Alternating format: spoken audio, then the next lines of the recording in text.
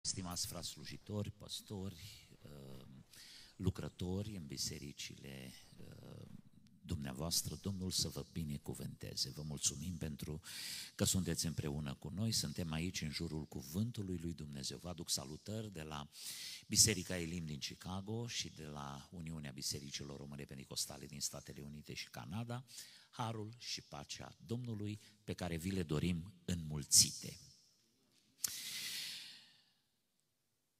Scump frați și surori, în seara aceasta, vorbind despre o vreme în care familia este în confuzie, omenirea este în confuzie cu privire la multe lucruri, între care și cu privire la familie.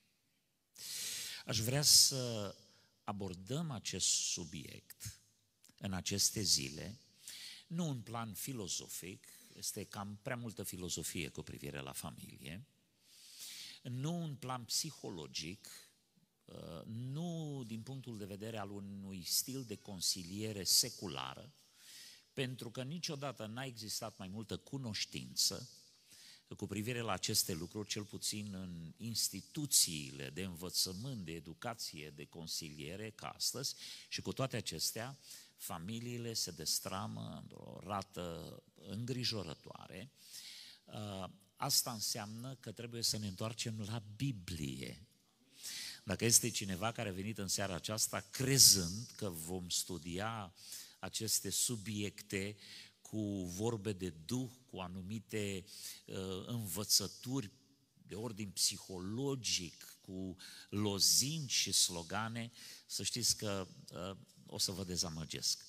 Dacă ați venit să învățați din Cuvântul lui Dumnezeu, sunteți în locul potrivit.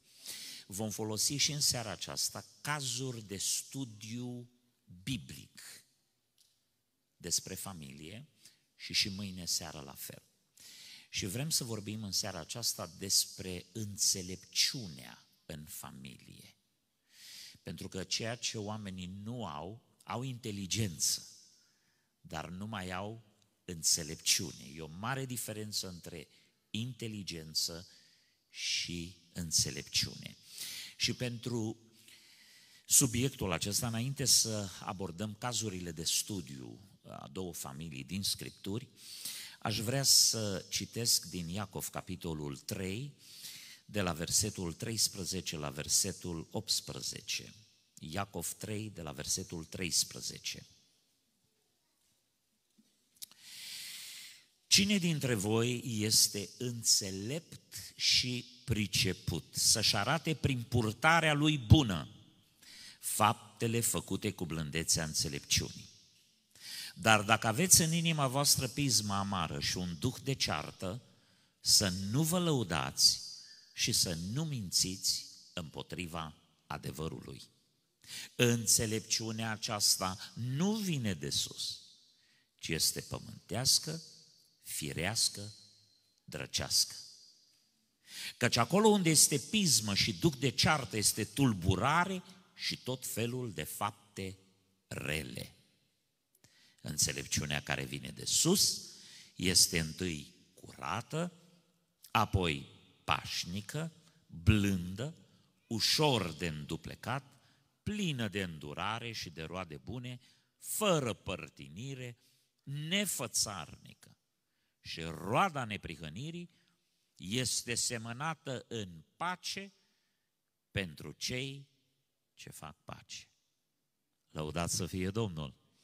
Domnul să binecuvinteze propovăduirea, ascultarea și împlinirea cuvântului Sfânt în viețile noastre. Amin. Vă invit să reocupați locurile.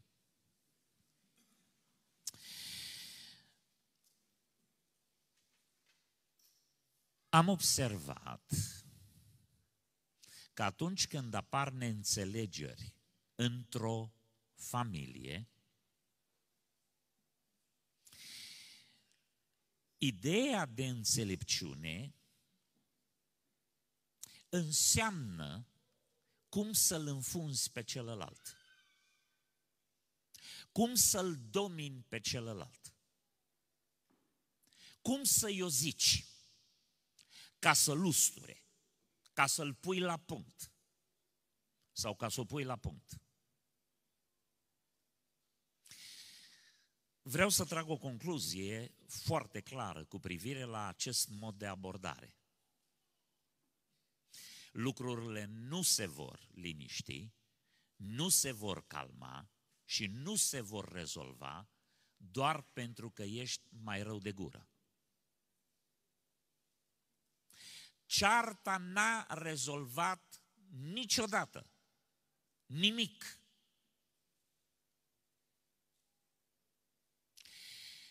În momentul în care vrei să rezolvi o problemă în familia ta, cearta nu face altceva decât să mărească prăpastia între soți, să înrăutățească starea familiei și să creeze noi probleme. Asta este și la nivel de biserică. Uh, mi-aduc aminte că în urmă cu mai mulți ani uh, am auzit că într-o biserică este ceartă. Și eram într-o poziție inferioară unui alt slujitor care a condus lucrurile. Cred că lucrul ăsta s-a întâmplat prin 90 și 90-91. Și uh, fratele a spus, domne, ca să ne răcorim, ca să o luăm de la zero. Am o rugăminte. Spuneți fiecare ce aveți împotriva celuilalt. Scoateți veninul din voi. Că după ce veți face lucrul ăsta, o să vă răcoriți, o să vă ușurați și pe urmă o luăm de la zero. Nu aveam așa de mare experiență în vremea aceea să-mi dau seama dacă e un lucru bun sau e un lucru rău, dar am așteptat să văd ce se întâmplă. Ghiși ce s-a întâmplat. Abia au apucat să vină la microfon, se-au îngrămădit și fiecare a spus tot ce a crezut că e de vină altul. Fraților, a fost o hărmălaie acolo de vreo două, trei ore, cum n-am văzut în viața mea. Că în vreme ce unul venea la microfon să acuze trei, ăia trei din bancă îl contraziceau. Se justificau, se apărau. Și a ieșit o ceartă pe cinste. Și la sfârșit, după ce s-a terminat uh, scandalul, am luat o pauză, că am obosit și noi care am ascultat și cei care au vorbit gâfâia toată adunarea. Și ne-am retras într-o sală și acum fratele ăsta și-a dat seama că n-a ieșit prea bine ideea lui. Și a uitat la noi, eram un grup, zice, ce părere aveți, cum, ce, ce s-a întâmplat aici? Păi zic, frate, eu cred că oamenii au dat veninul afară, dar nu l-au aruncat undeva într-o parte. L-au băgat unii în alții. Și au fost lucruri pe care n-a apucat să până acum să și le reproșeze, eu cred că s-au creat probleme noi între ei. Uh, soluția nu este să scoatem veninul din noi. Nu este o dovadă de înțelepciune. Soluția este să cădem la pace. Soluția înțelepciunii este întotdeauna pacea în familie. Ca să se facă pace, fiecare trebuie să renunțe la ceva. Pacea nu se face doar pe cheltuiala unuia. Pacea nu se face când unul este călcat în picioare, zdrobit definitiv și pus la colț. Pacea se face în dragoste, cu grație, cu dorința. Foarte interesant. Noi când argumentăm unii cu alții, când ne certăm, fiecare încearcă să spună cu ce e celălalt de vină. Ce părere aveți? Cât de șocant ar fi vreodată când soțul să nu spună cu cei soția de vină, ci să spună, îmi recunosc greșelile, sunt asta, asta, asta și cealaltă. Și soția spune, eu îmi recunosc greșelile mele. Uh, foarte greu putem face lucrul acesta, pentru că e vorba de uh, ambiție, fiecare dintre noi avem un ego al nostru. E, înțelepciunea care se ceartă, e și aia o înțelepciune, nu este o înțelepciune de ordin divin, este o înțelepciune de ordin demonic. Înțelepciunea care la pasă îl distruge și îl pune la punct pe celălalt nu este o înțelepciune dumnezeiască.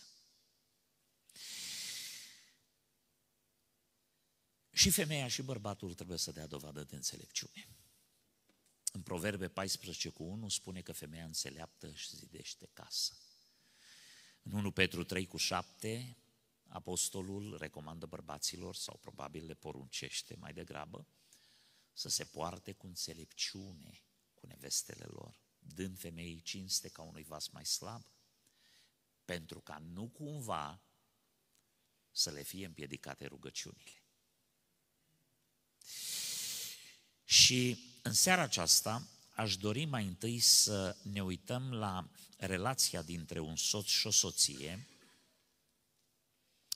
care la un moment dat s-au certat grozav, și anume David și Mical.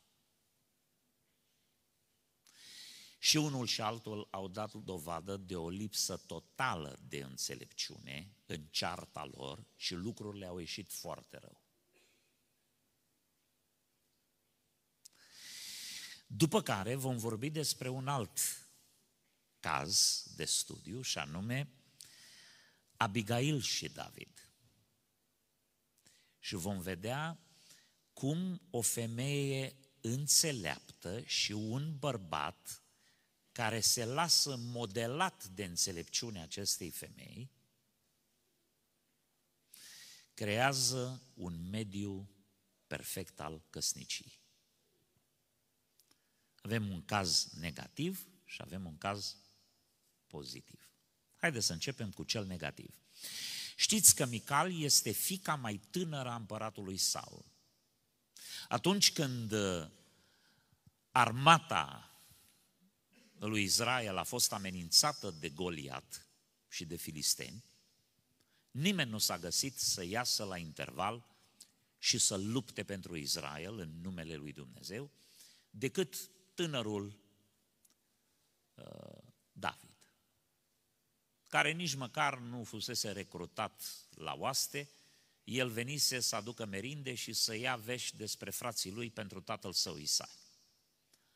Când însă a văzut insultele pe care le profera uriașul Goliat împotriva lui Dumnezeu și împotriva poporului lui Dumnezeu, David s-a oferit să meargă la luptă împotriva lui Goliat. Saul oferise mâna fiicei lui mai mari, cu numele Merab, celui care îl va birui pe Goliat.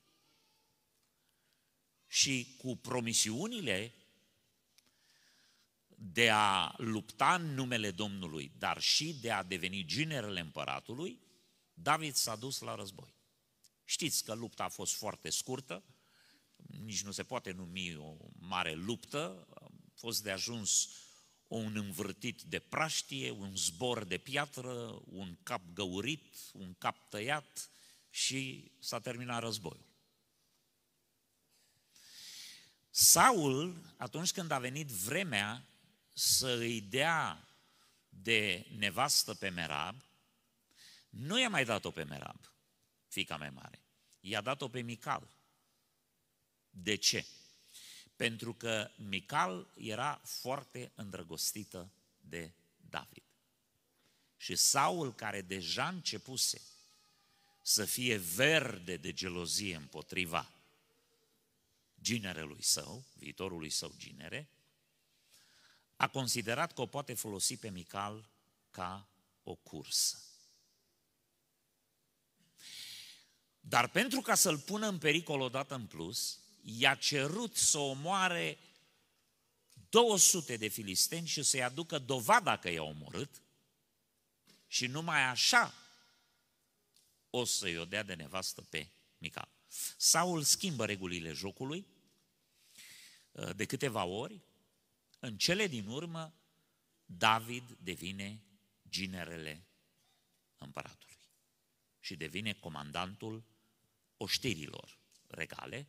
El intră și iese în fruntea poporului, câștigă bătălii, câștigă renume, câștigă apreciere în Israel și își câștigă și dușmănie din partea împăratului socrul său, care era deja lepădat de Dumnezeu.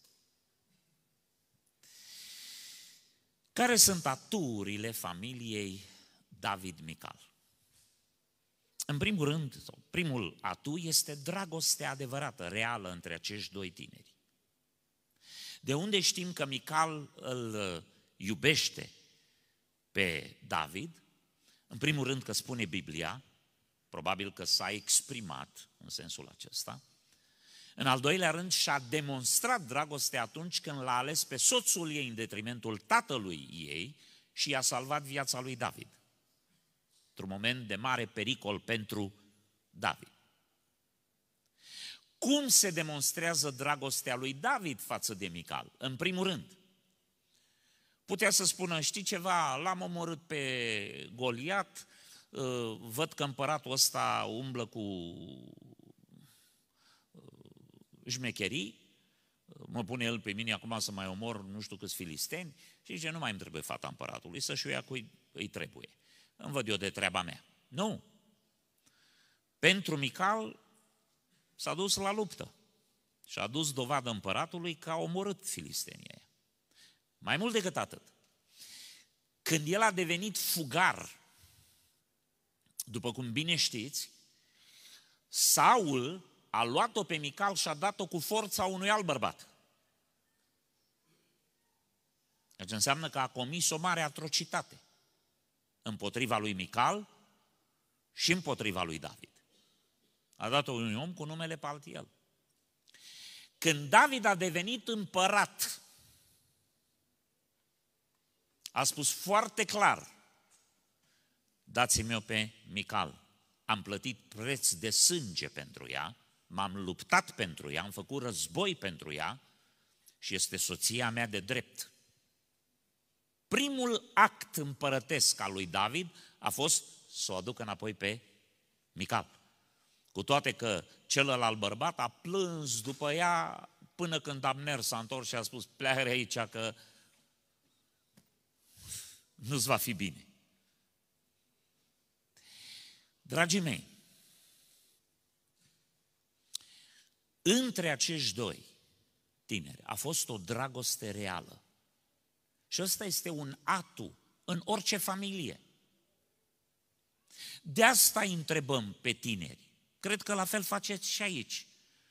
Uh, am, am văzut foarte multe ceremonii de căsătorie, și la căsătorii, și la botez, atâtea artificii, atâtea întrebări, atâtea încurcături, de nu mai știu tinerii săraci pe unde să scoată cămașa, ce să mai zică și ce să nu zică.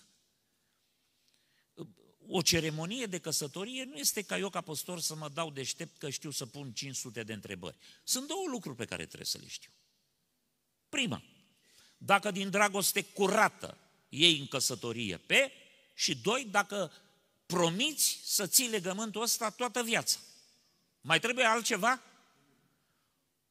Dai să fie așa, dai să speli vasele, dai să o ajut, dai... Astea sunt prostii, complicații. Că nu știi cum răspunde. Și te mai și face de râs. Eu că aminte că la o nuntă, ă, fata era de curând pocăită. Și nu știa ea toate lecțiile despre supunere și despre... Și la nuntă, păstorul ce s-a gândit să o întrebe? Auzi, ai să-i fi supusă la uh, soțul tău? Ce o să uitat la el? Ce să vedea. Acum ce era să facă? Să nu le mai facă nunta? De trebuie să fim atenți și la botez. Dai să mai păcătuiești, dai să mai faci, dar n-ai să mai fi, dai să fii, dar dacă te duci, dar dacă nu te duci. Nu, domnule, Crezi că Isus Hristos este Fiul lui Dumnezeu și Mântuitorul tău personal? Da. Promiți să-L slujești toată viața ta? Bagă-L în apă.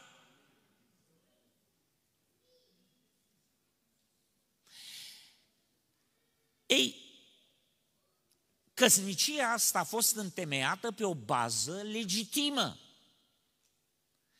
N-a fost doar o căsătorie de circumstanțe, n-a fost doar un aranjament, deși din punctul lui Saul așa a apărut. Mical l-a iubit pe David, David a iubit-o pe Mical. Vă dați seama, ani de zile cât a fost fugar și pe urmă șapte ani cât a fost împărat la Hebron, i-a stat gândul la soția lui Mical. Acum știți că în vechime împărații aveau mai multe neveste. Și David a avut-o între timp pe Ahinoam și pe urmă a avut-o pe Abigail, nu? Dar niciodată n-a uitat-o pe Mical, nevasta din tinerețea lui, prima lui dragoste. Din punctul ăsta de vedere, căsnicia lui David cu Mical mai are un atu, și anume întâietatea lui Mical, pentru că Mical este prima. Și se pare, din circumstanțele pe care le vom descrie, că ea era un pic de șefă acolo. Cam ea dicta termenii în casa regală și celelalte surori erau un metru în spatele ei. Ea avea întâietate.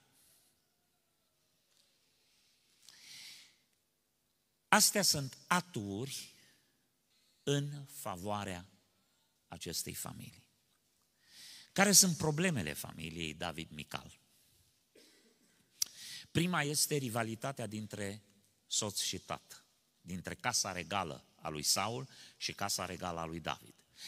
Casa regală a tatălui ei este desfințată și lepădată, în vreme ce casa lui David primește din partea lui Dumnezeu un cuvânt profetic care îi dă promisiunea mesianică.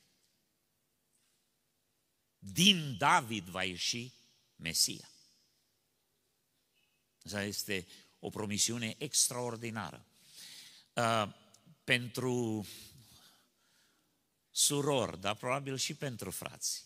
Știți că este extraordinar de greu să negociezi o relație toxică între socru și ginere sau socru și soț, între noră și soacră.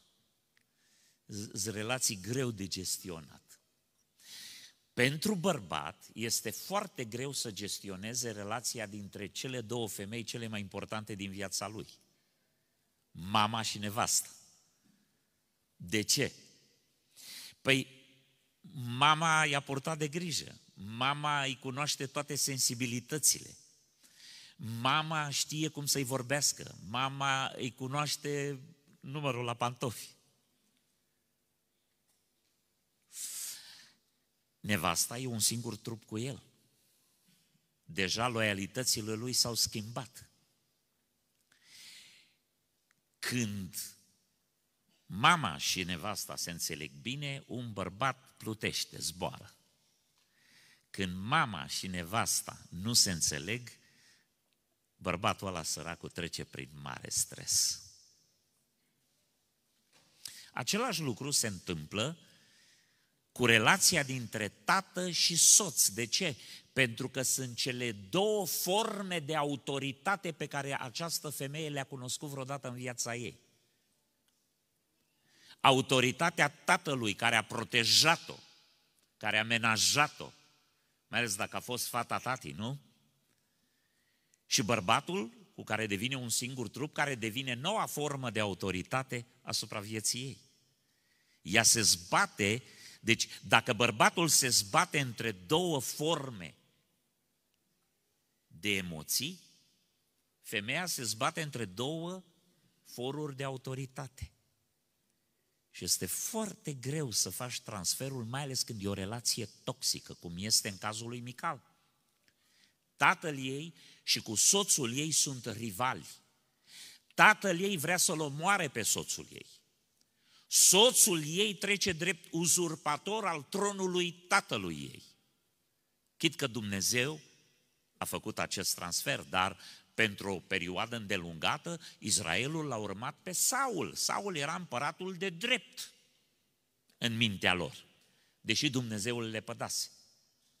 În vreme ce David era un ginere rebel și fugar. Așa se face că avea câteva sute de oameni care se refugiaseră împreună cu el în pustie, în vreme ce Saul venea cu armate după el. Armate care îl urmau în frunte cu Abner, uh, comandantul oștirii. Asta este o problemă. A doua mare problemă a familiei David Mical este cea pe care am menționat-o. O perioadă mai îndelungată de timp decât a durat romanța dintre ea și soțul ei David, femeia aceasta a petrecut-o în compania unui alt bărbat. Când abuziv, Saul a luat-o și a dat-o. De asta spun că a fost o atrocitate teribilă. Femeia aceasta nu numai că se zbate între loialitatea față de tată sau față de soț, dar acum intră într-o stare de mare confuzie emoțională. Mai există tradiții evreiești uh, care spun că relația dintre ea și Paltiel a fost pur platonică. O fi, nu fi, nu știm. Noi ne uităm la cazul biblic. Cert este că această femeie este traumatizată emoțional și psihic când este ruptă de dragostea vieții ei și dată cu forța altuia, și după ce stă ani de zile în compania respectivă, este din nou ruptă și aruncată înapoi lângă un om care s-a schimbat foarte mult între timp.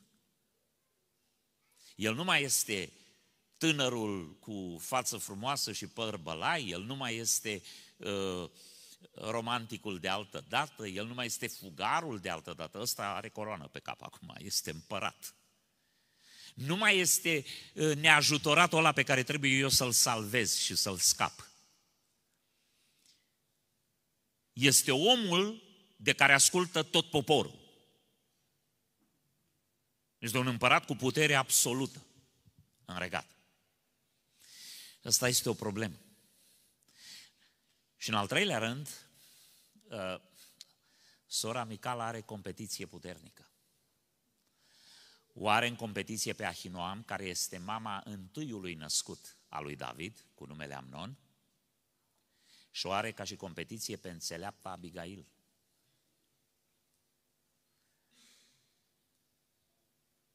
Nu o să-i fie ușor lui Mical.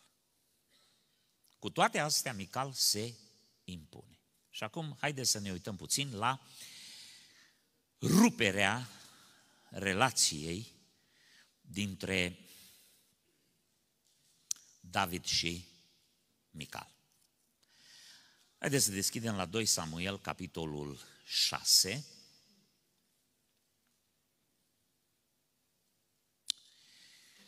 De la versetul 12.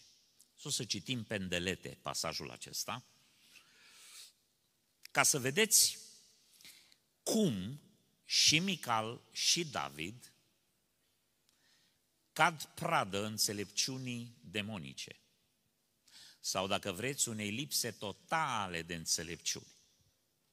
Ce s-a întâmplat? E un moment sublim. David își dă seama că el stă într-un palat și a făcut o casă frumoasă și te, cort, uh, uh, chivotul legământului este așezat într-un cort. În câmp. Și eu spune, asta e o mare nedreptate. Cum locuința lui Dumnezeu să fie un cort, iar eu să stau într-un palat? Și atunci hotărăște nici mai mult, nici mai puțin, că încă nu aveau templu, să aducă chivotul legământului la el acasă. O dorință nobilă. Dumnezeu apreciază lucrul ăsta. David aduce jertfe, cheamă poporul în întregime. Nenorocirea este că aduc chivotul uh, la casa lui după metoda filistenilor. Știți când a fost transportat ultima oară chivotul? În timpul judecătorului, după judecătorul Eli, în timpul judecătorului Samuel, atunci când a fost adus din captivitatea filistenilor și l-au pus într-un car alegoric tras de niște vaci. Atenție! Filistenii nu erau educați și nu aveau legea care spunea că toate lucrurile sfinte și mai ales chivotul trebuia dus pe umeri. De aceea chivotul fusese prevăzut cu niște inele și cu niște drugi, bare de lemn, care nu aveau voie să fie scoase din inelele acelea. Pentru ca să-și aducă aminte când pun mâna pe el că se cară pe umer de către fiii lui Chehat. Erau trei categorii de leviți în Israel. Erau chehatiții, merariții și gerșoniții. Când lui Moise i s-au adus din partea liderilor, căpetenilor poporului, seminților lui Israel, care și boi,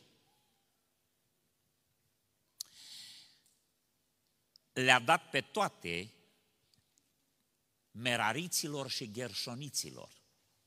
Dar spune în numer 6, n-a dat niciunul fiilor lui Chehat, pentru că după rânduiala legii, ei trebuiau să ducă lucrurile sfinte pe umeri.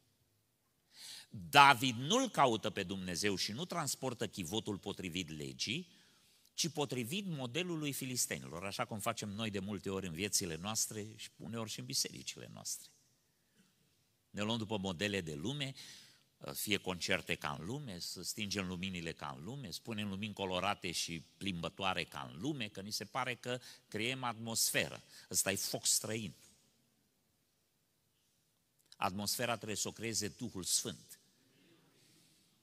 Nu luminile care se plimbă prin sală dătătoare de epilepsie.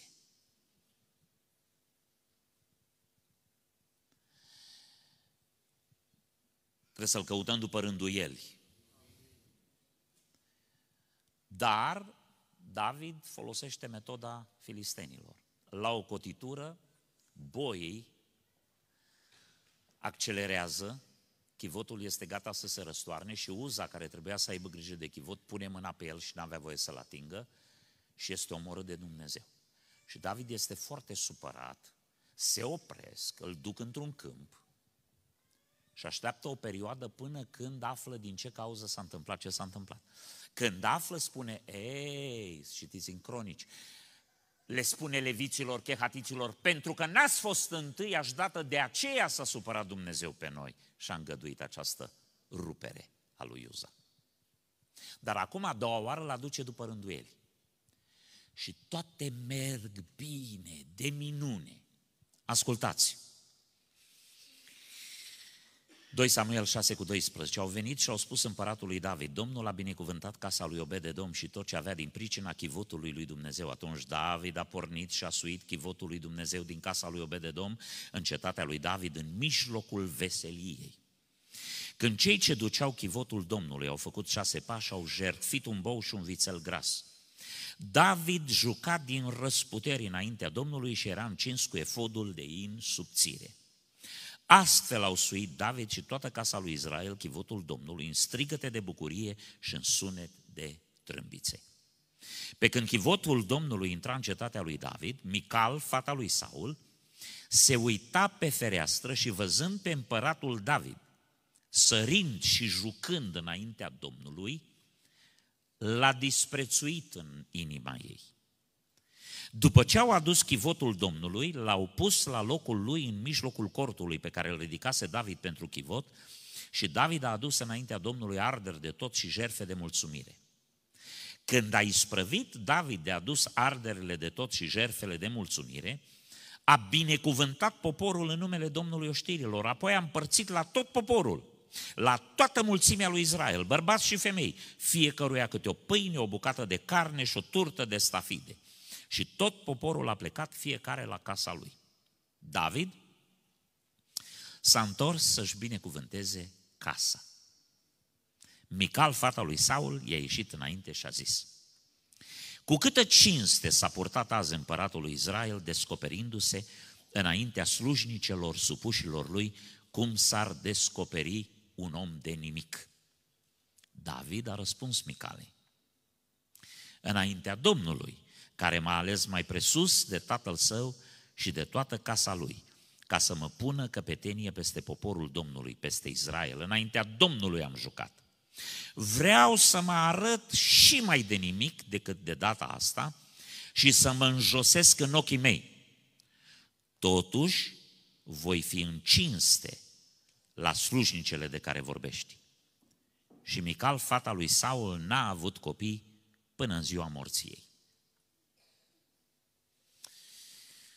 Cearta asta este o mare tragedie și este rezultatul unui comportament complet lipsit de înțelepciune din partea ambilor soți.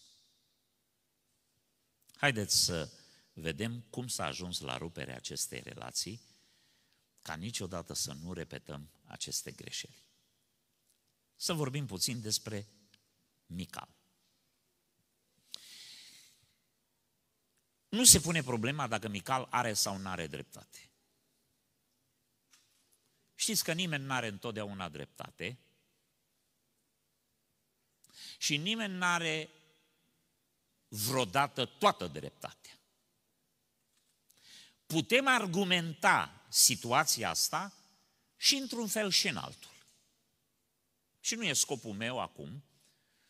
În primul rând, că David a jucat înaintea Domnului, el a luat emoțiile pe dinainte, a fost extaziat de succesul de a fi adus chivotul legământului la el acasă, a fost fericit, vesel, era încins cu efodul Domnului și s-a apucat să țopăie. Și-a dat jos haina regală, n-aveți grijă, nu s-a dezbrăcat în pielea goală. În vremea aceea, Uh, dezbrăcatul nu însemna dezbrăcat în piele, dezbrăcat mai sumar, în hainele de pe dedesubt. Cert este că a dansat, a jucat înaintea Domnului, putea fără, i-a cerut Dumnezeu așa ceva, el ca împărat, hmm, s-a expus.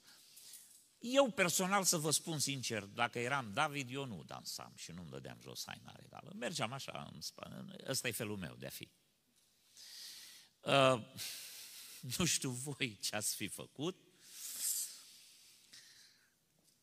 dar nu ăsta e lucrul cel mai important.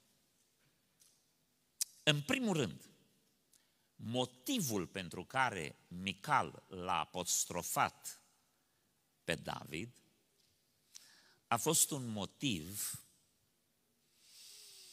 peste care putea să treacă.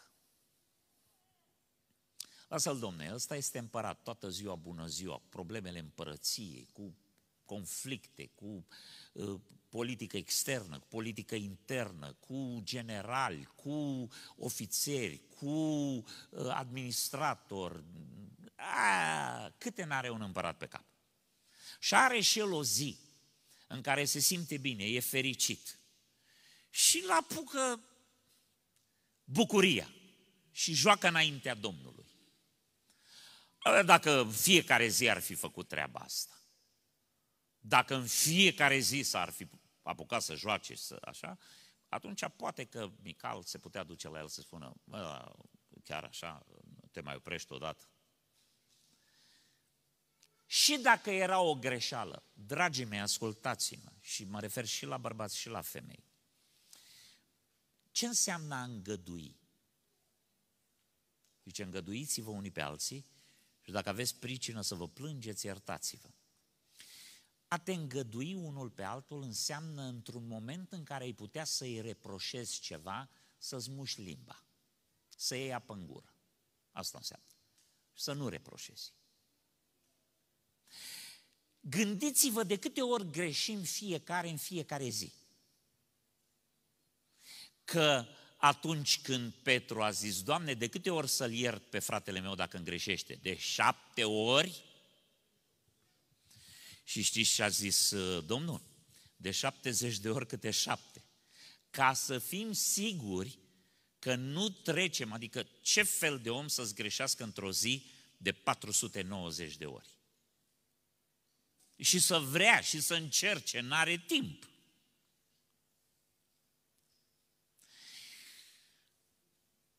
Sunt lucruri peste care nu poți să treci. Pentru că țin de funcționalitatea familiei. Dacă să stai pe urmele lui sau să stai pe urmele ei și să-i reproșezi fiecare lucru, cât de mărunt ar fi, și despre câte lucruri putem spune că sunt fără consecință. Le-am putea ușor trece cu vedere. Știți, măsura iubirii într-o familie este câte lucruri care altora li s-ar părea uh, enervante, ție ți se par caragioase și drăgăstoase. Pentru că dragostea acoperă totul. A spart o farfurie. Și auzi, s-a spart. Nu s-a spart, ai, ai spart-o, nu s-a spart. Ce mare scofală. Contează care dintre ei. Dar iar nu ești atentă, dar iar nu ești atent.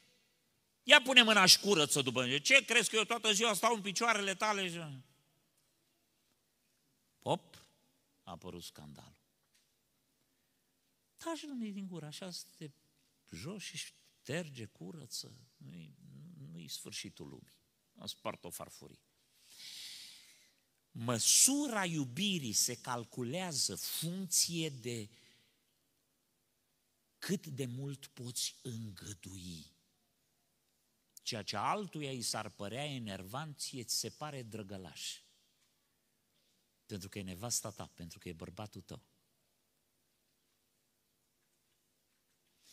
Dragii mei, există, noi trebuie să ne luăm în serios, dar uneori există pericolul să ne luăm prea în serios. Să tratăm viața de familie ca și când noi suntem pe post de generali care fac instrucție cu soldații. Soția ta nu-i soldatul tău, soțul tău nu-i soldatul tău. Sunteți parteneri într-o lucrare minunată, sfântă, plină de dragoste.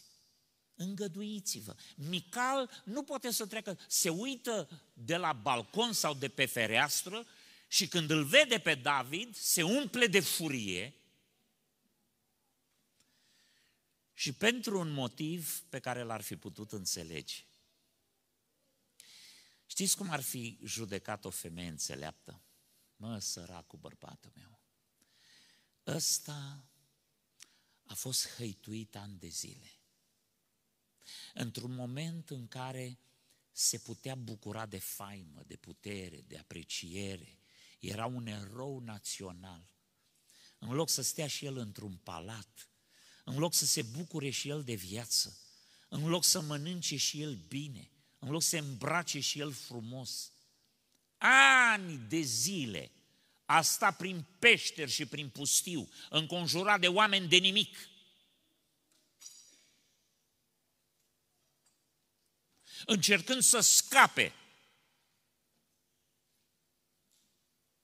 de armata socrului lui care l-a hăituit o viață întreagă.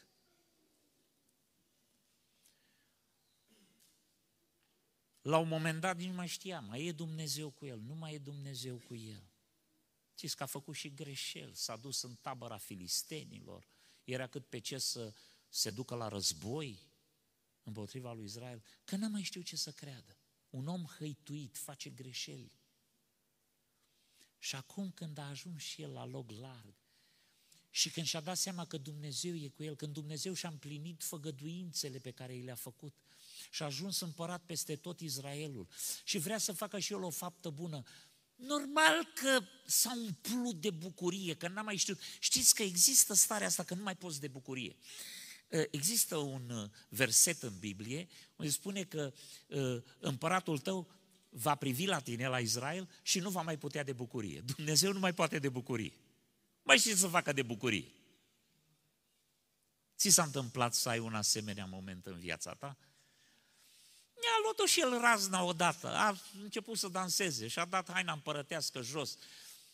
Dar a făcut-o înaintea lui Dumnezeu, dar a făcut-o de dragul lui Dumnezeu, care l-a salvat și care l-a binecuvântat și care și-a împlinit făgăduințele fazele. Stai, măi, femeie cu minte, lasă-l în pace, nu sări la gâtul lui. Motivul n-a fost bine ales. În al doilea rând, momentul nu a fost bine ales. Hai să zicem că pentru Mical lucrul ăsta a fost total nepotrivit.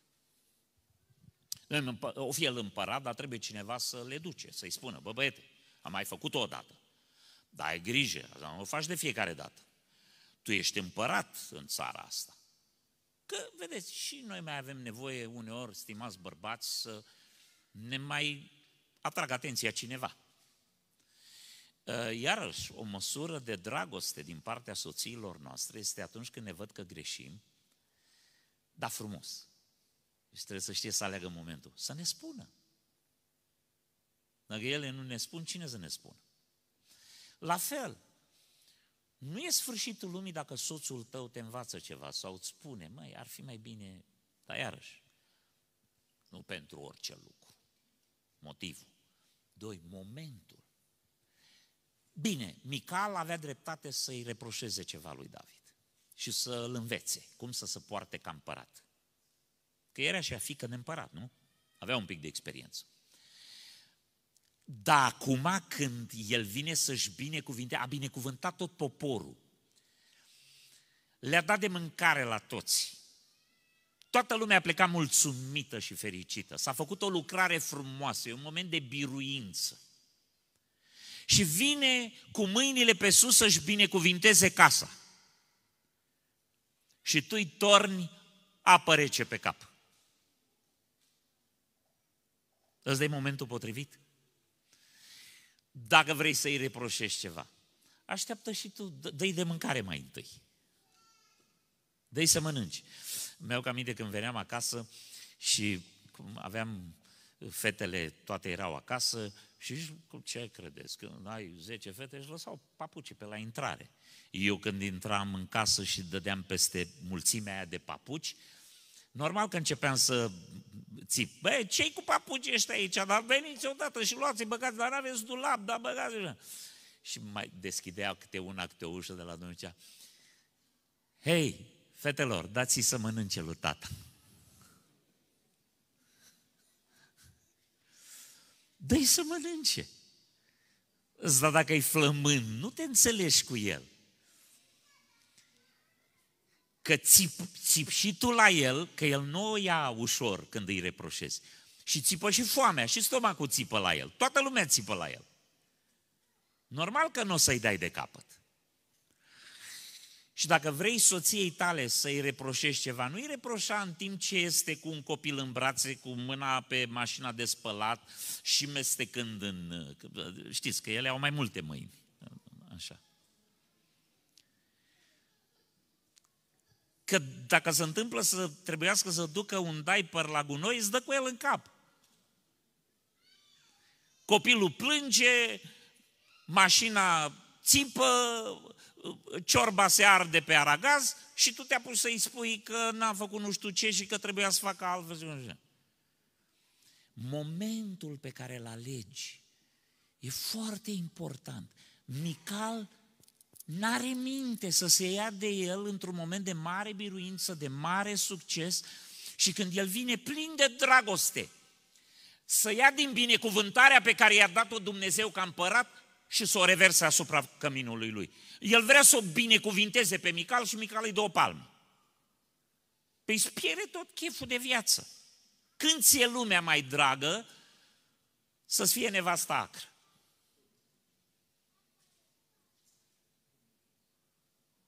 Sau bărbatul. Că uneori nici noi nu avem mai multă minte. Dragii mei, alegeți momentul potrivit. Alegeți momentul potrivit. Eu știu când nevastă mea vrea să-mi facă vreo observație.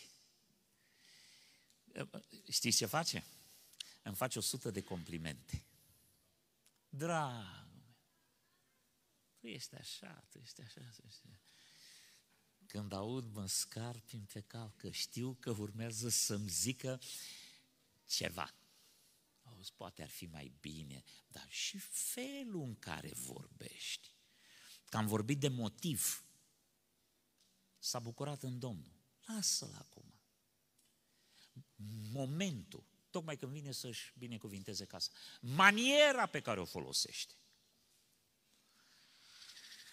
Oh, mândria ei de regină, gelozia ei că l-au văzut într-o stare în care nu trebuia să-l vadă slujnicele, alte femei. Și nu se poate abține. Știți că pentru surorilor, știți care este cea mai mare problema voastră? Dacă v-ați putea abține puțin, pe urmă depășiți momentul. Necazul e că nu vă puteți abține. Doamne, trebuie să bufnească și să trăznească. Dacă așteptați 5 minute, vă sare capul de pe umări. Explodați. Nu se poate. Vă spun eu, dacă așteptați 5 minute, pe urmă vorbiți diferit. Ca să se ducă puțin presiunea aia. Se ducă un pic presiunea aia de moment. Ia ascultați. Cu câtă cinste s-a purtat azi împăratul lui Israel, descoperindu-se înaintea slujnicelor supușilor lui, cum s-ar descoperi un om, l-a făcut și om de nimic.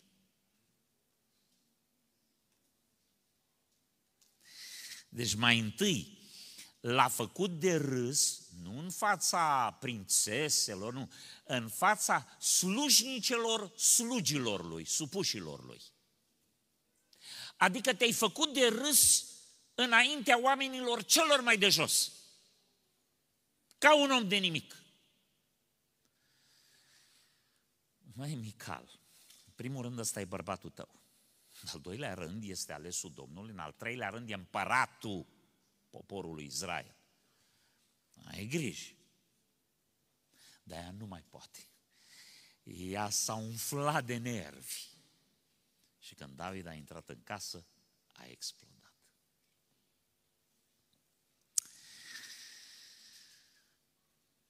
Ok, hai să vedem ce face domnul David. Că dacă Mical face toate prostiile astea, David nu se lasă cu nimic mai prejos.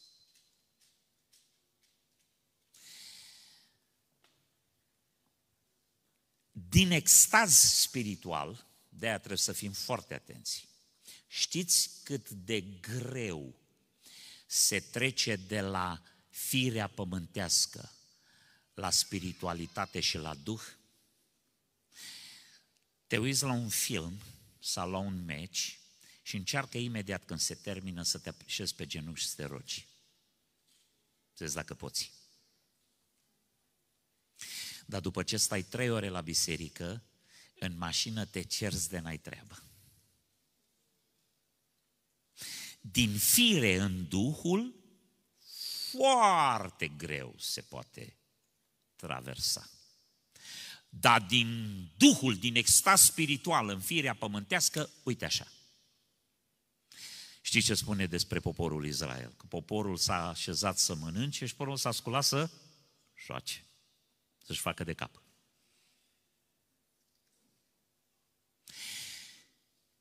Fiți atenți în momentele de extaz spiritual, de înălțime spirituală. Pentru că firea dă târcoale. Și ești cel mai vulnerabil atunci. Pentru că toată dreptatea e de partea ta. Pentru că tu ești un om mare,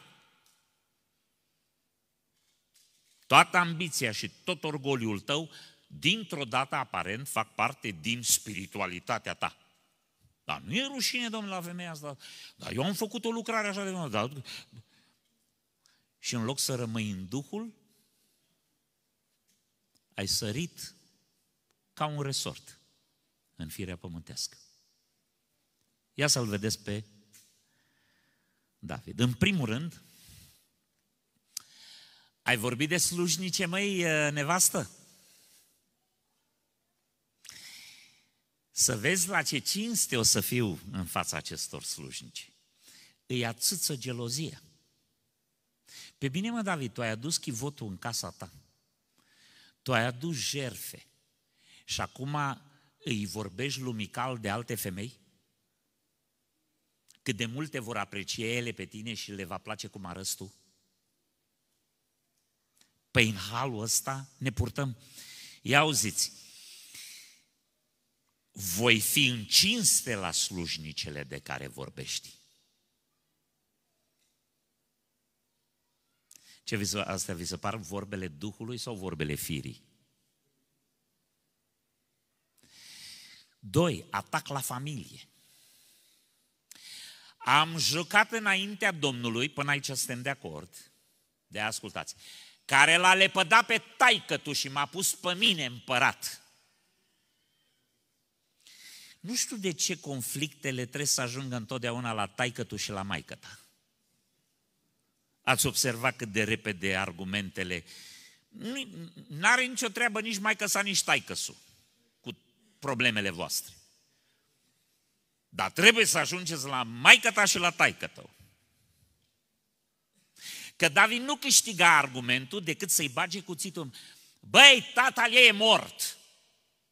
E în pământ. A murit pe câmpul de luptă.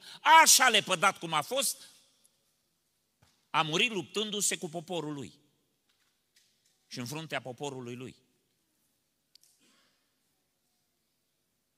Și nu uita, ca să ajungi tu împărat, Dumnezeu a îngăduit să fie sacrificat și cel mai bun prieten al tău, care și ăla ți-a salvat viața și pe care îl cheamă Ionatan. Când tu calci în picioare casa regală a lui Saul, îl calci în picioare și pe Ionatan. Ce rost mai are să bați un om mort? Numai ca să-i reproșezi, să-i spui, tu vorbești, ai uitat cine e taică tu. Un compromis, un rebel, un neascultător și un lepădat.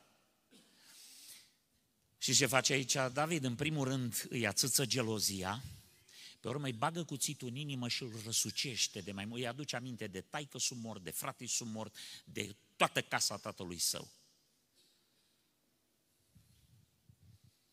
Vi se pare că este un moment super spiritual pentru împăratul David?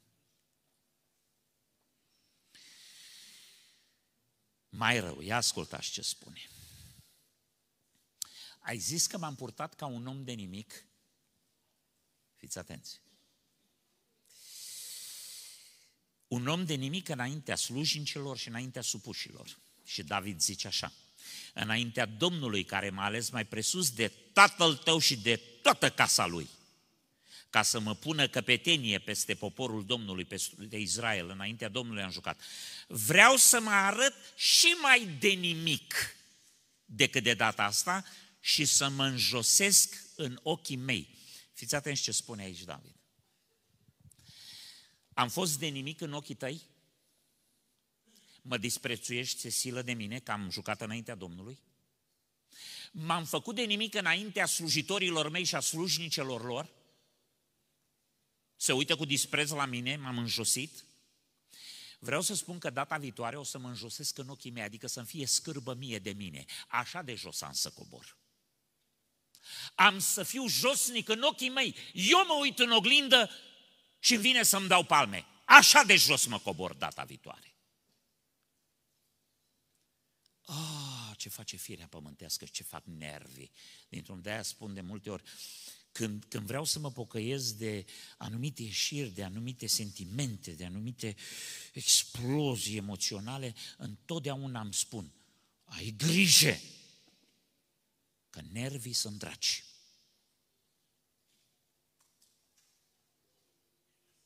Nervii sunt draci. Din cauza nervilor.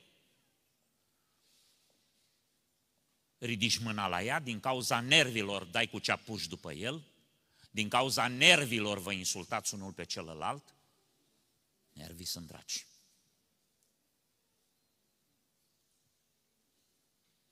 Să ne ajute Dumnezeu să scăpăm de nervi.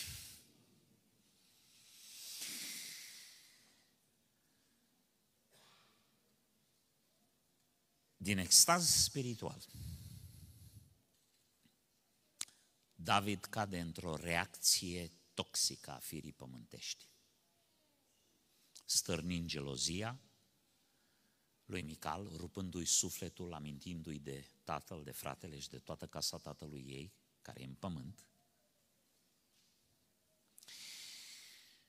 Și David nu poate depăși momentul, nu poate ierta. Am înțeles că te-a supărat astăzi. Dar asta este femeia care ți-a salvat viața. Asta este femeia pe care în dragostea ta, primul lucru pe care l-ai făcut ca împărat, ai adus-o înapoi. Și asta este femeia care este un vas mai slab, stimați frații. Și Biblia spune să dăm cinste femei ca unui vas mai slab. Ea se zgârie mai repede. Un bărbat înțelept nu cedează și nu se lasă stârnit de unele ieșiri ale nevestei.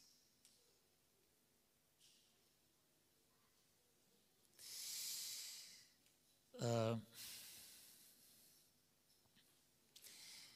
ai încercat vreodată să bufnești în râs atunci când se enervează nevastă ta? Știi că dacă te uiți mai atent, e chiar drăguță și caragioasă? Încearcă să zâmbești, încearcă să râzi, să spui, ce s-a enervat asta. Ce roșie s-a făcut. Că măi, om bun, N-are ce să-ți facă, doar nu o să te ia în sus și o să dea cu tine de pământ, că nu poate. Face și ea ce poate. Să încruntă, țipă, trântește vasele, amuză-te, mă, e amuzantă. E amuzantă. Crezi că dacă te duci și o iei și o zgâlții de păr și dai cu ea de un perete, o să fie lucrurile mai bune în casă?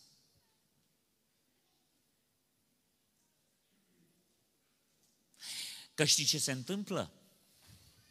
Bine, ea e enervantă. Și tu ești dezgustător. Dacă am urât ceva în copilăria mea și mi-aduc aminte de fiecare din aceste momente, este când am văzut un moment abuziv între un bărbat și o femeie în stradă. Și am văzut câteva apucată de păr și târâtă pe jos, uite așa. Ca un cadavru. Aveam niște vecini, lunea purta doamna niște ochelari de soare mari cât față. Că duminica în weekend se îmbătau.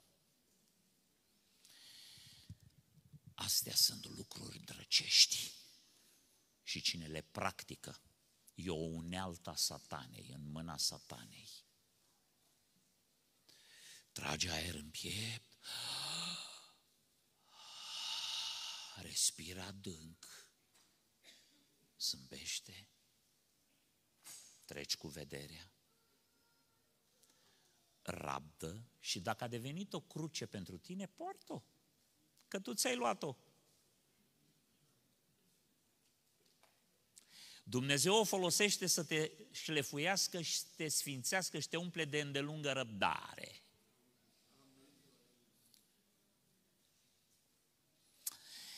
Cineva o să spună, da, da, am avut dreptate.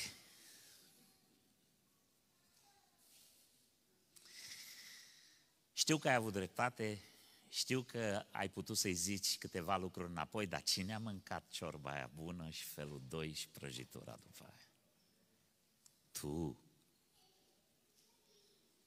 Și poate că un pic mai târziu când o să se calmeze și o să-și dea seama că te-a tratat rău, o să vină să spună, puișor, iartă-mă că m-am enervat mai devreme. O să dea vina pe copii, o să dea vina pe vremea de afară, pe alte lucruri. Este simpatică, este drăgălașă, e amuzantă. Zâmbește și depășește momentul. Că dacă nu, tot tu ai să suferi.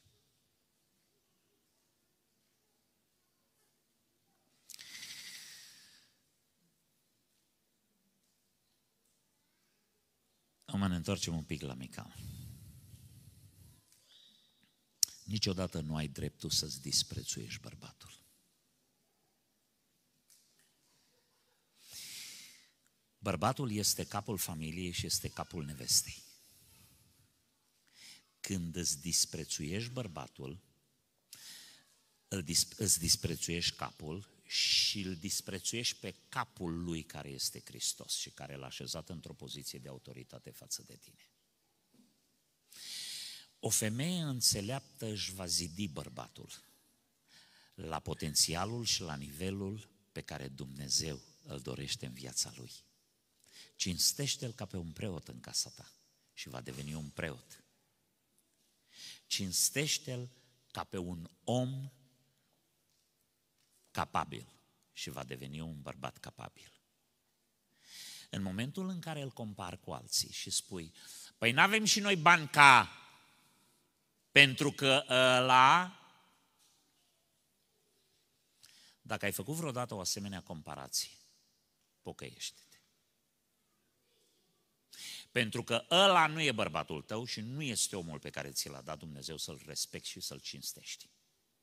Ăsta este. Ascultați. Dumnezeu ne-a binecuvântat cu 10 copii, însă nu este ușor să crești 10 copii. Nu e ușor să le dai de trei ori pe zi să mănânce.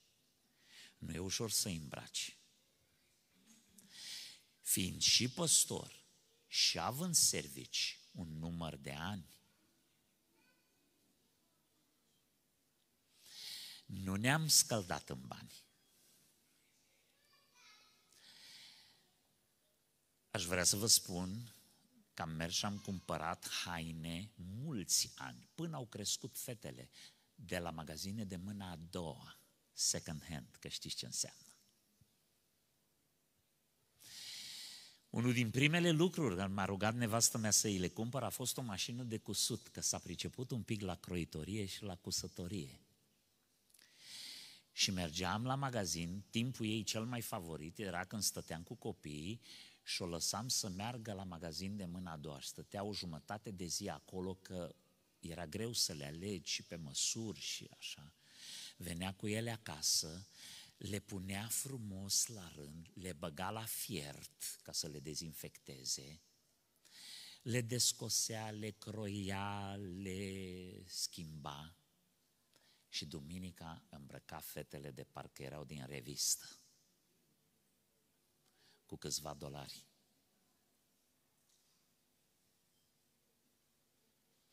Că nu ne puteam permite să mergem la magazin să cumpărăm haine la preț întreg. Uneori ne-am bazat pe minunile lui Dumnezeu. Dar niciodată femeia asta nu mi-a spus nu că să mă compare cu altcineva, nu mi-a spus că și-ar fi dorit mai mult și că și-ar fi dorit mai bine.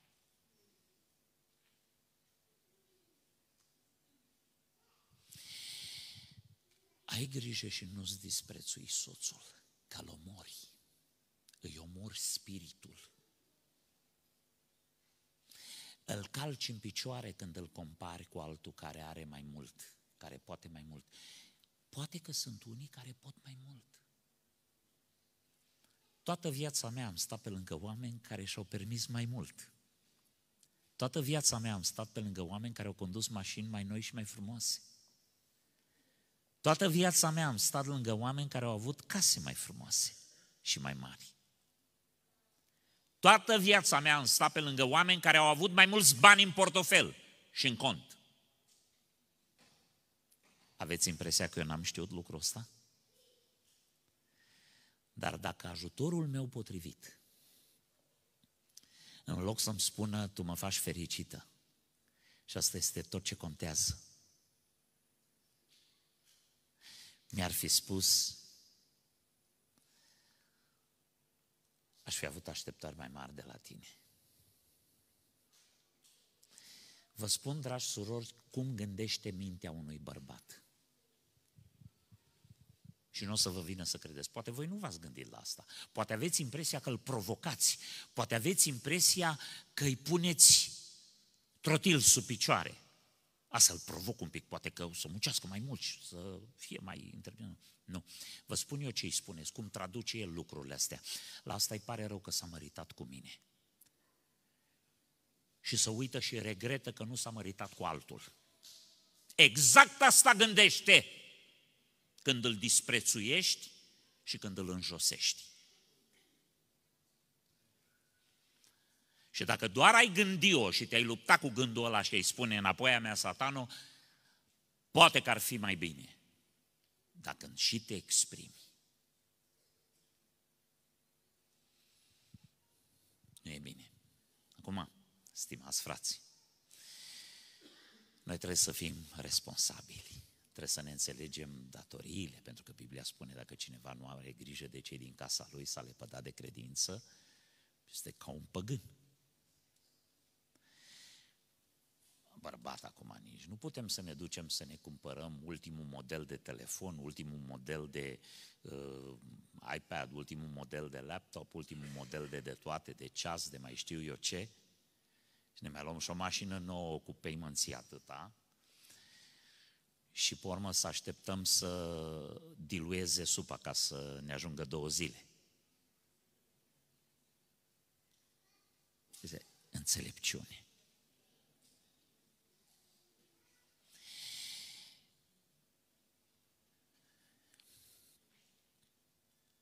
Știți ce s-a întâmplat? Din cauza acestui episod, Mical n-a avut copii până în ziua morții ei. Biblia leagă faptul că Mical n-a avut copii de episodul acesta. Dar ascultați, nu compătimesc prea tare pe Mical. Și să vă spun de ce. Există un episod în istoria lui Israel foarte tragic.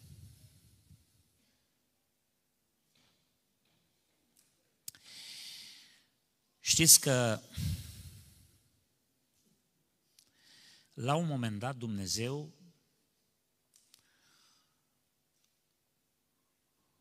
a atacat poporul Și David n-a știut din ce cauză s-a întâmplat așa ceva. O foamete de trei ani în Israel. 2 Samuel 21. Și David a întrebat pe Domnul, din ce cauză a venit foametea peste noi? Și Domnul i-a spus așa, din pricina lui Saul și a casei lui sângeroase, pentru că a ucis pe Gabauniți este foamea aceasta. Știți că Iosu a făcut un pact cu gabaoniții că îi vor lăsa liniștiți să trăiască în mijlocul lui Israel. A fost un legământ și Dumnezeu a ținut cont de legământ. Saul i-a atacat și a ucis dintre ei. Și să știți că sângele vărsat pe nedrept cere răzbunare. După așa mulți ani, Dumnezeu trimite foamete în Israel ca să plătească Israelul pentru nelegiuirea pe care a comis-o împotriva legământului făcut de, Iosif, de Iosua cu gabauniții. David a zis gabauniților, ce pot face eu pentru voi și cu ce să fac ispășire ca să binecuvântați moștenirea Domnului, să nu mai fim blestemați cu foamete, nu? Gabauniții au răspuns, nu voim nici arginci, nici aur de la Saul și de la casa lui și nici nu este treaba noastră să omorâm pe cineva din Israel. Împăratul a zis, ce voiți dar să fac? I-au răspuns împăratului, fiindcă omul acela ne-a slăbit și își pusese de gând să ne nimicească, pentru ca să ne facă să pierim din tot ținutul lui Israel, să ni se dea șapte bărbați din fiii lui, și îi vom spânzura înaintea Domnului la Ghibea lui Saul, alesul Domnului. Și împăratul a zis, vii voi da. Împăratul a cruțat pe Mefiboșet pentru că a făcut un legământ cu Mefiboșet să se poarte cu el cu o bunătate, ca bunătatea lui Dumnezeu din pricina tatălui său Ionatan, cu care a făcut legământ că va avea grijă de urmașii lui și trebuia să-l protejeze pe Mefiboșet, dar împăratul a luat pe cei doi fii pe care îi născuse lui Saul Rițpa, fata lui Aia, este o țitoare a lui Saul, și anume Armonii și Mefiboset, tot Mefiboset îl chema și pe acesta, și acum ascultați, și pe cei cinci fii pe care îi născuse Merab, fata lui Saul, lui Adriel din Mehola, fiul lui Barzilai. I-a dat în mâinile gabaoniților care i-a spânzurat pe munte. Închipuiți-vă că Mical ar fi avut vreun copil, vreun fiu.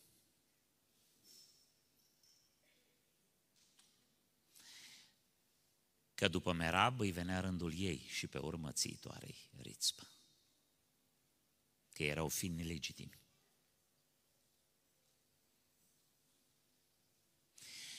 Într-un fel, faptul că Mical n-a avut copii a fost o binecuvântare ascunsă în blestem.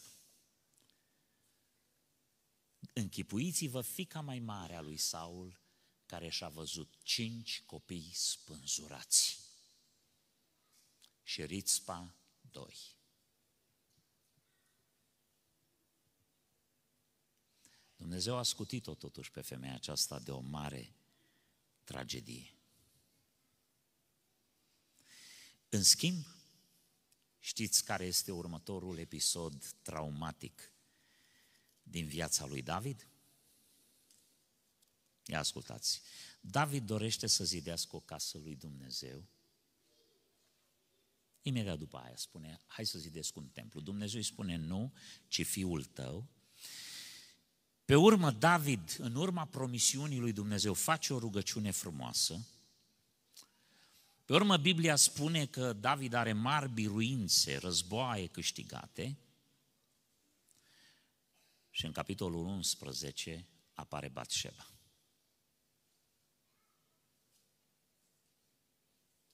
În urma ruperii relației dintre el și Mical, David scade din punct de vedere spiritual, devine vulnerabil din punct de vedere spiritual.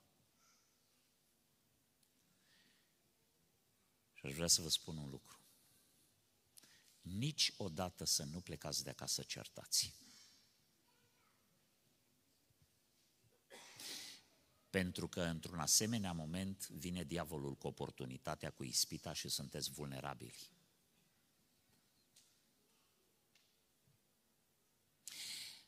Ieși afară din casă după ce ești sigur că ești în pace cu soțul și cu soția ta.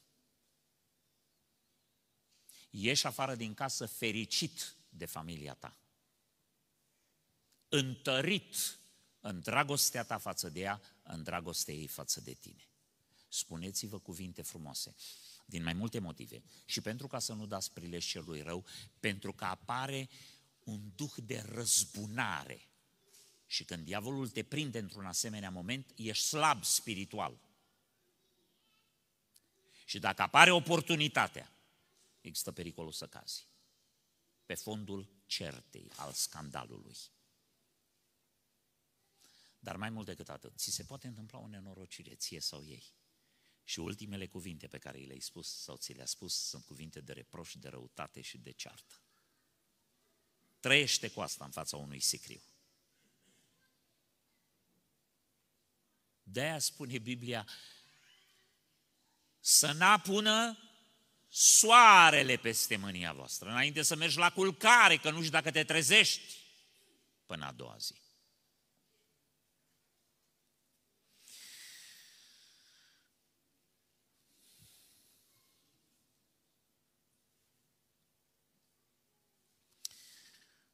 Vreau să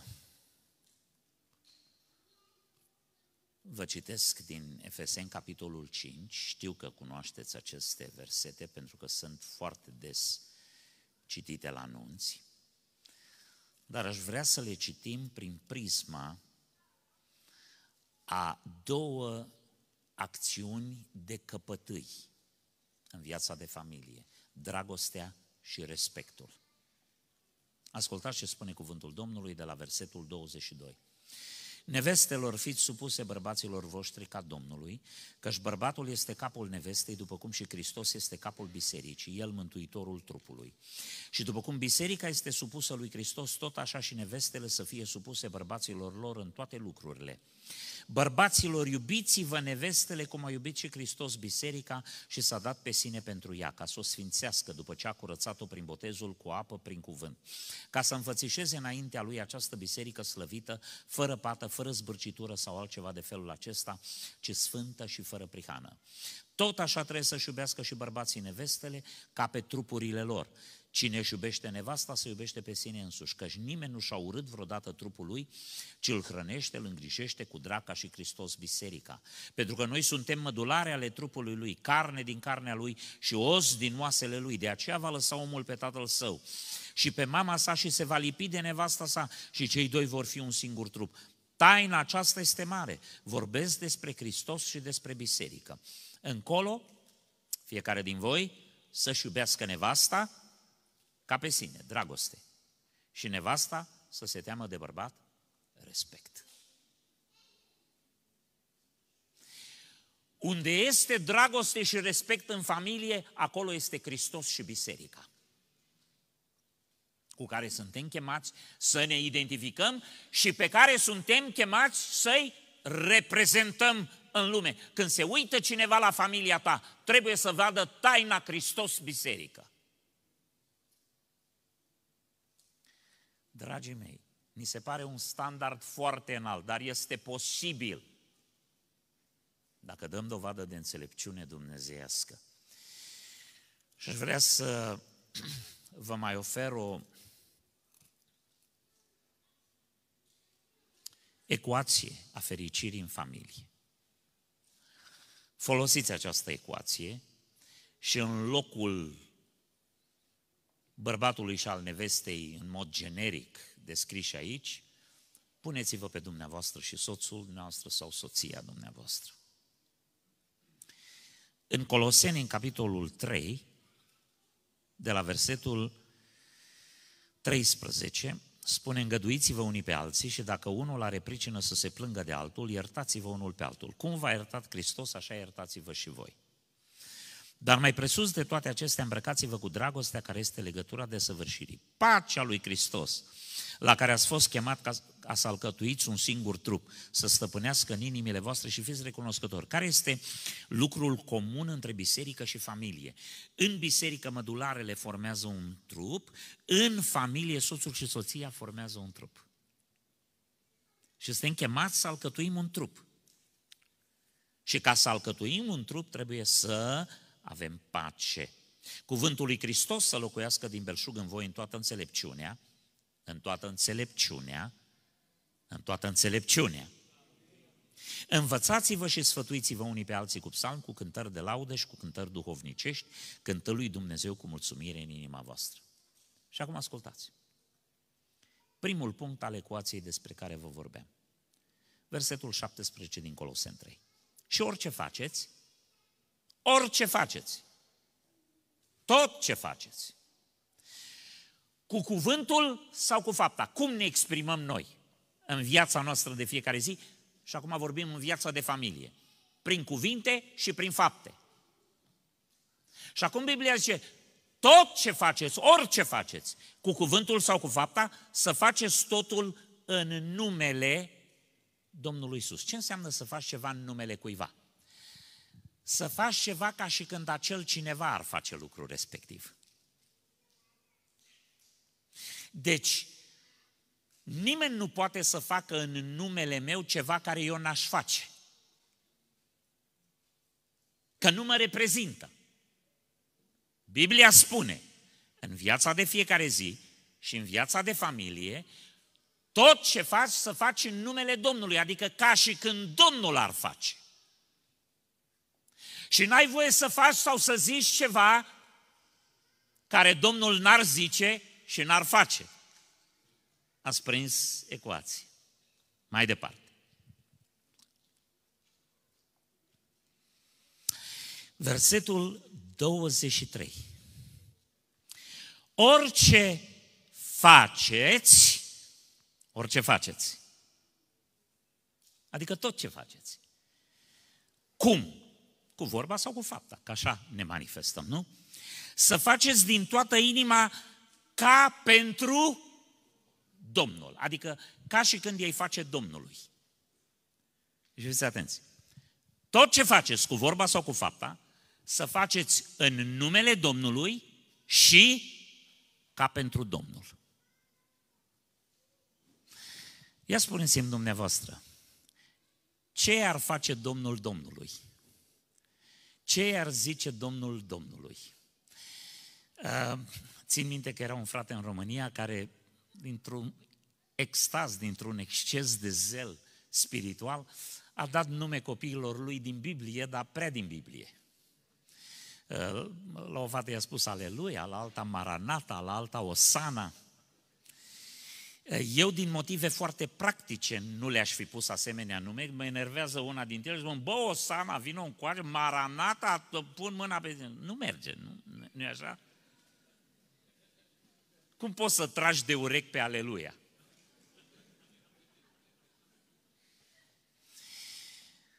De-aia întotdeauna sunt șocat cum în, în cultura spaniolă foarte mulți își dau numele Isus. Ce bate-l pe Isus. Ceartă-l pe Isus. Uh,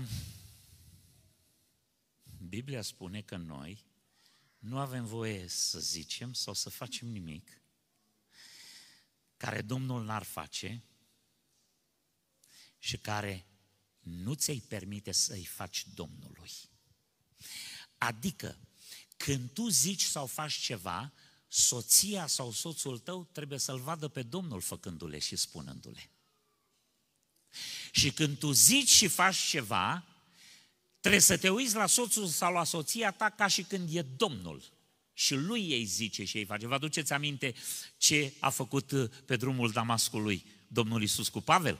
I-a spus, Saule, Saule, pentru ce mă? Și ce treabă avea Saul cu Domnul să-l prigonească? Și zice, cine ești tu, Doamne? Eu sunt Isus pe care tu îl prigonești.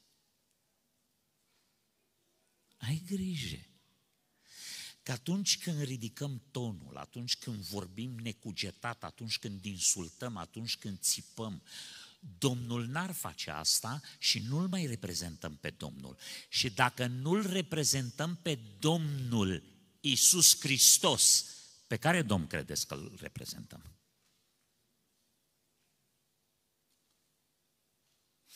Și în momentul în care folosim adjective insultătoare, strigăte și, Doamne ferește, poate și violență, La cine credeți că ridicăm mâna? Domnul o ia personal, e ca și când îl pălmuiești pe el. E ca și când îl cicălești pe el. E ca și când îl înjosești pe el. E ca și când îl disprețuiești pe el.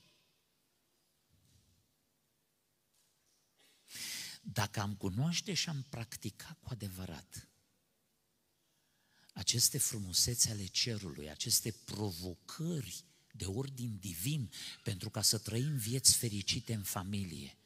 Frați și surori, casele noastre ar fi colț de rai. Cine s-a căsătorit ca să fie nefericit? Și dacă ești nefericit, cine te-a făcut nefericit sau nefericită? Tu pe tine sau unul pe altul? Păi în seara asta, ia o hotărâre sfântă. Nu mâine. M-am obișnuit în toate predicele mele să mă agăț de ideea că un pocăit adevărat citește Biblia o oră pe zi și se roagă o oră pe zi. Și uneori dau de credincioși care vin și îmi spun, frate, de mâine încep și eu. I-am spus, dacă încep de mâine, nu încep niciodată.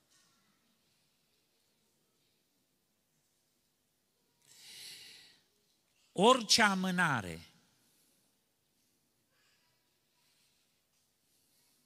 anulează orice hotărâre. Amânarea, ține minte sloganul ăsta, amânarea anulează hotărârea. Spuneți-mi, câte din lucrurile pe care ați zis că le faceți de la anul sau de luna viitoare sau de săptămâna viitoare le-ați mai făcut? Aș vrea să spun niciunul, dar hai să acceptăm că poate o fi unul sau doi care chiar le-au făcut.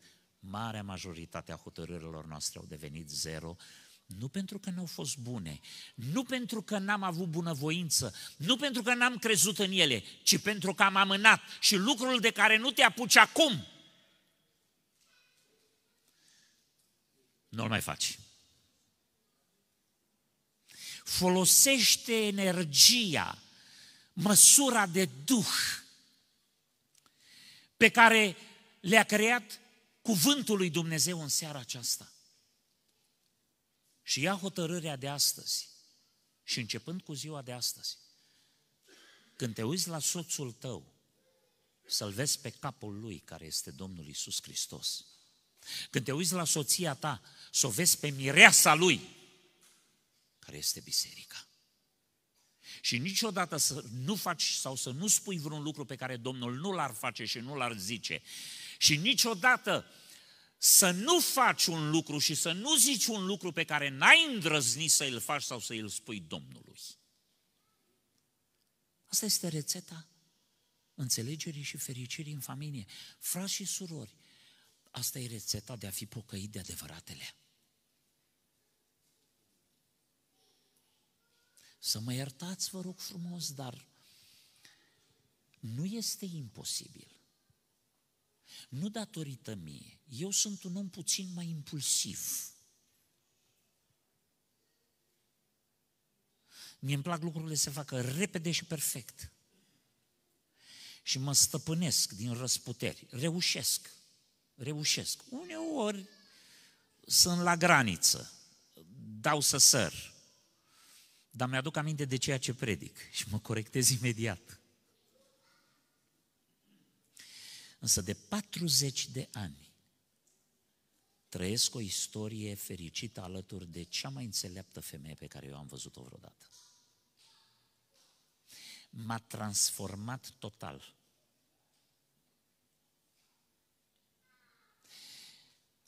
Cu vorbă bună, cu răbdare, cu tăcere. Și am un cuvânt final pentru surori.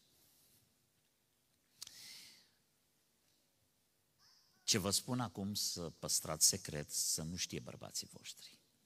Numai vouă vă spun lucrul ăsta. Stimate surori, aveți o putere extraordinară asupra bărbaților voștri dacă știți cum să vă purtați cu ei. Nu spun eu lucrul ăsta, spune Biblia. Și ce spune Petru? Zice că uneori bărbatul tot dacă e nepocăit, e necredincios, prin purtarea ta, când vor vede felul vostru de trăire curat și pașnic și frumos, se vor întoarce la Dumnezeu. Unii bărbați se pot pocăi prin mărturia femeilor lor. Și mi s-a întâmplat nouă dată și nu de două ori lucrul ăsta.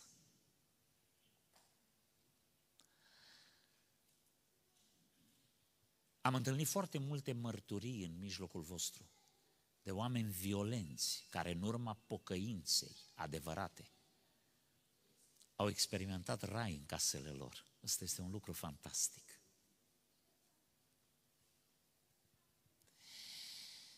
Bine, am întâlnit și un caz sau două în care bărbatul a fost, uh, amândoi au fost nepocăiți, bărbatul era foarte violent și după ce s-au pocăit, femeia nepocăită s-a prins că ăsta e pocăit. Și a început să-l abuzeze. Am văzut om cât muntele, bătut măr. Și zicea, rugați-vă pentru mine, fraților, să-mi dea Dumnezeu, nu, nu zicea, rugați-vă să nu mă mai bată, zicea, rugați-vă să-mi dea Dumnezeu răbdare, că era un munte, ăsta numai dacă sufla, zbura aia în altă țară. În momentul în care, că spune Biblia că o femeie înțeleaptă și zidește casa, asta e numai prima parte a versetului. Partea a doua o citiți acasă.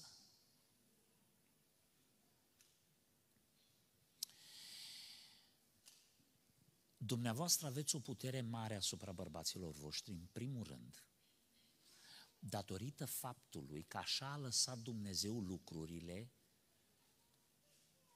ca să nu ne scăpăm de voi. Ci ce spune Biblia? Că zice, nici femeia nu poate fără bărbat, nici bărbatul fără femeie, că dacă femeia a fost luată din bărbat, bărbatul se naște prin femeie. Știți cine sunteți dumneavoastră? Mama copiilor lui. Mama copiilor lui.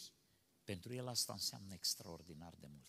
Acum, vorbim de oameni între anumite limite de decență și de bun simț și de normalitate. Ne putem referi la cazurile de nebunie și de... Acolo probabil e nevoie de doctor și nu numai. Însă, într-un mediu normal, un bărbat vede în tine sursa de viață a casei lui, a familiei lui. Știți că Adam nu a fost înșelat. Eva a fost înșelată. Și Adam i-a împărtășit soarta. Cineva s-a întrebat odată, dacă Adam n-ar fi mâncat din fructul oprit, ce ar fi făcut Dumnezeu? Ar fi omorât-o pe Eva sau ar fi reabilitat-o pentru Adam? Bună întrebare. Dacă Adam nu păcătuia și nu cădea în aceeași neascultare, ce făcea Dumnezeu? O nimicea pe Eva și o lua de la capăt sau o reabilita? Nu știm, nu ne băgăm unde nu știm, dar atenție! Vă aduc aminte de un alt mare om al lui Dumnezeu, care are o nevastă cu un moment de nebunie.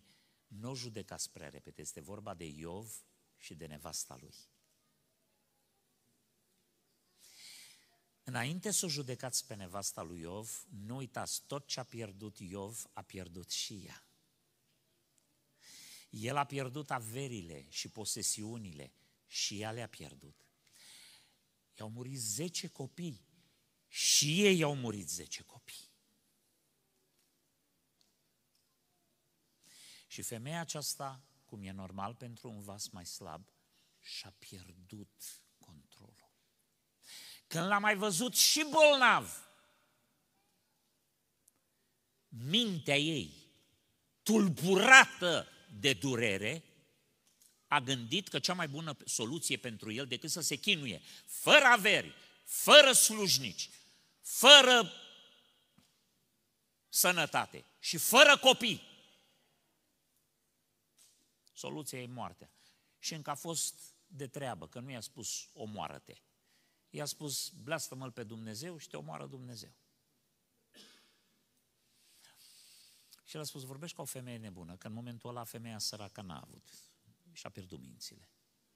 Ce să primim de la Dumnezeu? Numai binele și rău, nu? Iov a rămas neclintit în neprihănirea lui și neprihănirea lui a fost credința lui în Dumnezeu și nădejdea lui în Dumnezeu. Dar ascultați, Dumnezeu n-a nimicit-o pe soția lui. Că Dumnezeu putea să spună, Iov, bravo, continui să mă laud cu tine. Asta nu te merită la coșul de gunoi al istoriei. Nu. Când l-a reabilitat pe el și a dat înapoi dublu și i-a dat 10 copii, că nu i-a dat dublu copii, că ăia care au murit nu i-a pierdut, ăia i-a avut. Au fost în brațul lui Dumnezeu. Și nu i-a dat o altă nevastă. Tot cu asta i-a dat binecuvântările. Prin neprihănirea lui a reabilitat-o și pe ea pentru că ea era sursa de viață a casei lui. Nu este asta un lucru sublim? Ei, surorilor, asta sunteți dumneavoastră, sursa de viață și de perpetuare a caselor voastre. Un bărbat nu poate ocoli acest adevăr. Dacă veți ști să vă purtați cu el, n-am să vă promit că o să-i puneți o zgardă și o să-l duceți de lanț unde vreți, că e bărbat. dar vă promit că o să vă iubească, o să vă prețuiască și o să devină din ce în ce mai bun. Și pe măsură ce El va deveni din ce în ce mai bun, dumneavoastră veți fi din ce în ce mai împlinite și mai fericite. Haideți de astăzi înainte, și frați și surori, să ne purtăm cu înțelepciune. Ascultați, vreau să mai citesc încă un verset și mă opresc, că o să continuăm mâine cu încă un caz de studiu.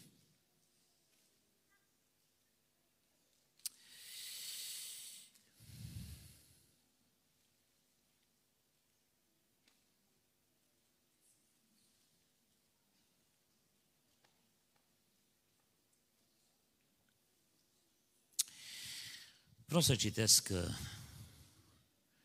Psalmul 101. Are numai 8 versete, e un psalm frumos. Voi cânta bunătatea și dreptatea. Ție, Doamne, îți voi cânta. Mă voi purta cu înțelepciune pe o cale neprihănită. Nu e suficient să fii pe o cale neprihănită. Trebuie să te porți cu înțelepciune pe calea neprihănită. Când vei veni la mine? Și că Dumnezeu o să vină în inspecții în casa ta. Să vadă pe ce cale umbli și dacă umbli cu înțelepciune pe calea neprihănirii.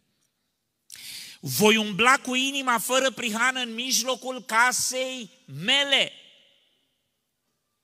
nu voi pune nimic rău înaintea ochilor mei.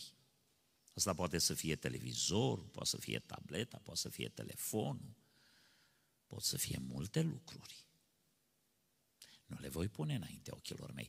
Că televizorul, filmele și operele de săpun, la care unele surori se uită dimineața, alea nu le învață la bine. Alea nu le bagă idei frumoase și înțelepciune de la Dumnezeu în cap, le bagă prostii în cap. Și uitatul la televizor, fraților, nu vă învață să fiți bărbați înțelepți și bărbați cu minți. Credeți-mă. Ia mai lăsați televizoarele și filmele și prostiile. Că de aia s-a nenorocit o societate întreagă. Nu voi pune nimic rău înaintea ochilor mei. Urăsc purtarea păcătoșilor, ea nu se va lipi de mine. Asta înseamnă că n-am anturaje cu oameni răi unele relații, trebuie să renunț la ele. Inima stricată se va depărta de mine, nu vreau să cunosc pe cel rău. Unii dintre voi trebuie să rupeți niște relații. Oameni care vă influențează la rău, inclusiv în dreptul familiei voastre. Pe cel ce clevetește în ascuns pe aproapele său îl voi nimici, pe cel cu priviri trufașe și inima îngânfată nu-l voi suferi. Știți că cel mai ușor ne unim la bârfă. Știți că bârfele niciodată nu zidesc și nu te, nu-l fac pe eu mai bun. Știți ce făcea taică meu când venea cineva la noi acasă și bărfea? Ne prăpădeam de râs. Mama îi spunea, măi, omule, ne puneam mâinile în cap. Avea o balalaică. Balalaică este mandolină cu triunghi, așa în triunghi. Și îi plăcea să cânte cu pana. Și când uh, veneau oameni de bine și se vorbea din cuvânt, și tata era o și urechi. Când începea să vorbească de unul, de alta, de nu știu ce, lua tata balalaica și începea să zdrângăne la balalaică. Păi stă săracul om, ce să facă? Stătea să uita un minut, două și cea pacea Domnului ne mai vedem și data viitoare. N-a apucat mama să le servească plăcinte.